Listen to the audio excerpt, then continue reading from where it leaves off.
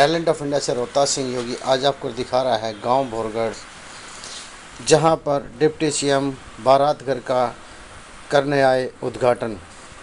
समस्त ग्रामवासियों में उद्घाटन को लेकर हर्षोल्लास और खुशी का माहौल देखने को मिला।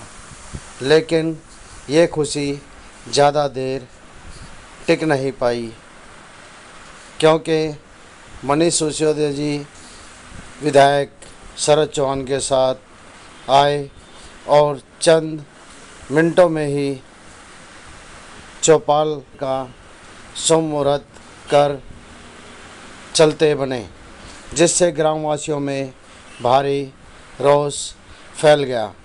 और देखते ही देखते सभी ने मनीष सिसोदिया हाय हाय के नारे लगाने शुरू कर दिए आइए जानते हैं पूरी खबर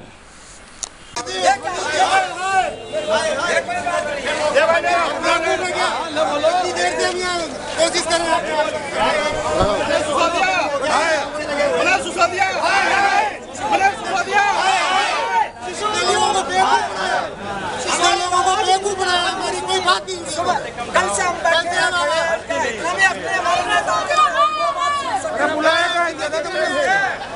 नहीं समझा तो हम अपने आप कर बता दिया हमें। बहुत बड़े बुज़ुर्ग हैं हमारे यहाँ पे ये कौन मनीष हाँ है। क्या बात होगी? क्या बात होगी? आप क्यों आया कर रहे हैं? क्यों आए अरे हमने कल से पाँच दिन से हमें लग रहे हैं कि भी हमारे मनीष सिसोदिया मुख्यमंत्री जी आएँगे लेकिन पूरे गाँव का हमने रात रात भर उनको इनवाइट करने के लिए कार्ड बांटे हमने।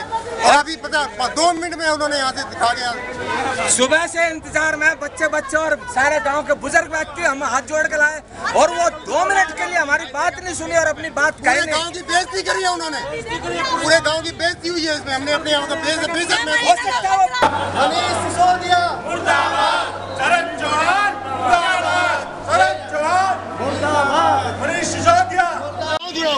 हुआ जी आखिर क्या रीजन है? आप लोग क्यों आज शोर कर रहे हैं? अभी कुछ क्षण पहले जो है यहाँ पे डिप्टी सीएम आए हुए थे। हम चाह रहे थे हम, हम दिल से उनका स्वागत करना चाह रहे थे लेकिन हमारी एक नहीं सुनी दो मिनट चाय पानी नाश्ता पैसे खर्च किए अपने पूरे गाँव की तरफ़ से लड्डू बटवाए हुए थे। पूरे गाँव के बुज़ुर्ग यहाँ इकट्ठा थे के मुख्यमंत्री उप मुख्यमंत्री के आने से काफ़ी प्रसन्न थे।